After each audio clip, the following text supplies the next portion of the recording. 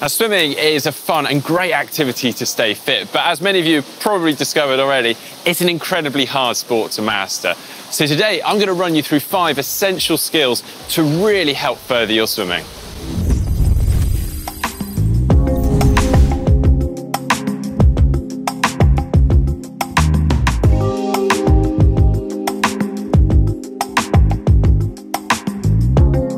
Okay, first on the list has to be breathing. I mean, we all know how to breathe, surely. I mean, that's pretty simple.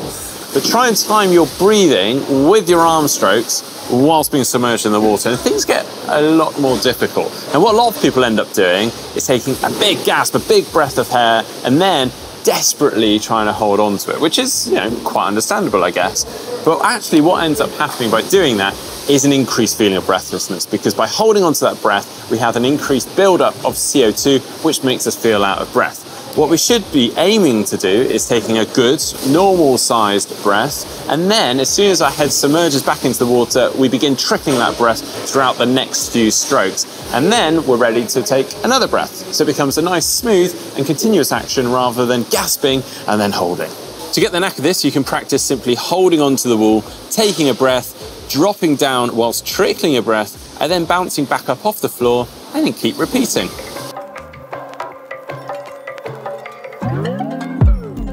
Now, next on the list is another fundamental skill, and that is streamlining. Now, to get rather geeky for a second, water is 784 times more dense than air. That means that we experience far more resistance when passing through water as opposed to, say, running or walking outside in the air.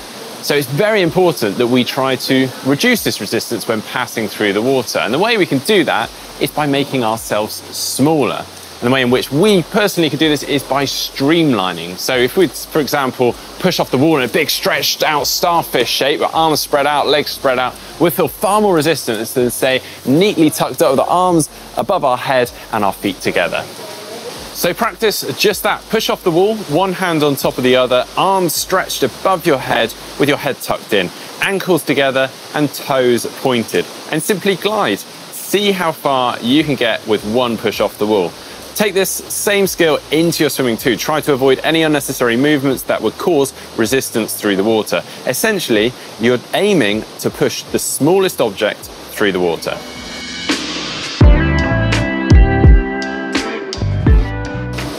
Now we're going to look at kick. Now, some may be surprised that I'm including kick or including it so soon, but actually your kick provides a lot of balance and timing to your stroke. And by getting the mechanics and understanding the movements of the kick can set you up really well. Now, the kick should mostly come from the hips with a soft knee. Try to avoid excessive bending of the knee, but equally make sure you're not locking that knee out fully.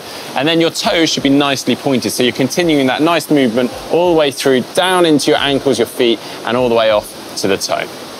To begin with, I would recommend using a kickboard. Just simply rest your arms on the board and keep your head up. That way you can simply focus on your legs.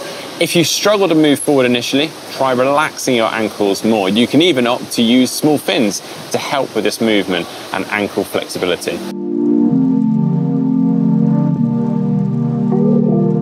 Okay, now moving on to turns. If you're wanting to string together multiple lengths at a time, you're going to want to turn. You've got a couple of options here. You've got the standard touch turn, you've also got the tumble or flip turn. The more simple of the two is obviously the touch turn. As the name suggests, you approach the wall, touch or grab it with one hand, tuck your knees up, and bring your legs underneath you. Plant your feet on the wall, and then take that hand off the wall, over your head above the water, and back into the water as you push off. Bring your hands together into a nice streamlined position as you push and glide off the wall. Now for most, the touch turn is a pretty good starting point and may well be all you need. I mean, you can actually get pretty quick at doing them with practice. But if you're looking to step things up, you may want to try the flip turn, which is certainly faster when mastered. Now, obviously, it's quite a skill to get the hang of, so you might want to check out our detailed flip turn or tumble turn video that runs you through a nice step-by-step -step guide on how to do them. But for now, here's a quick run through. Swim towards the wall, take your last stroke above or slightly after the T mark on the floor. At this point, one hand should be heading back towards your hip and the other is pulling you forwards towards the wall. Start dipping your chin down into your chest and start the somersault.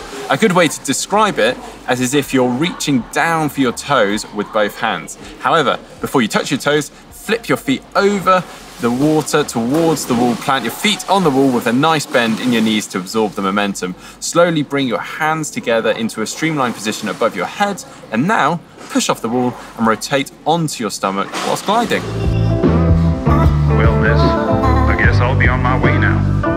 Right, the final skill I'm going to teach you today is the scull drill. Now, there are a number of different scull drills out there, so I'm going to start you off with the same scull drill that I was very first taught when I started swimming too.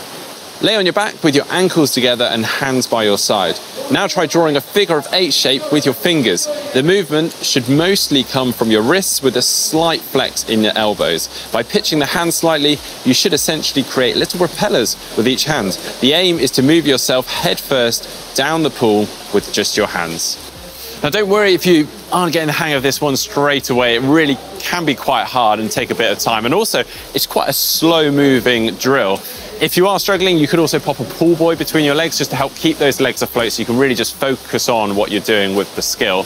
But if you aren't starting to get the hang of it and really master it, you could take it up a level and start rotating your hands in the opposite direction. And therefore, that's going to make you go feet first down the pool, which is quite cool.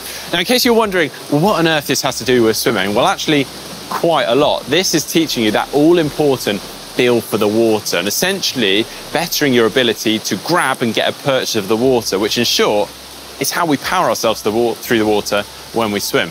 Now, that is it. That's our five skills. Let us know how you get on with them in the comments section down below. As I said at the start of this video, swimming is a really hard sport to master, so do not be ashamed if you're struggling or you've got any questions. You can drop those in the comment section down below and we'll do our best to get back to them. If you enjoyed today's video, please do give it a thumbs up, give it a like, and don't forget to subscribe.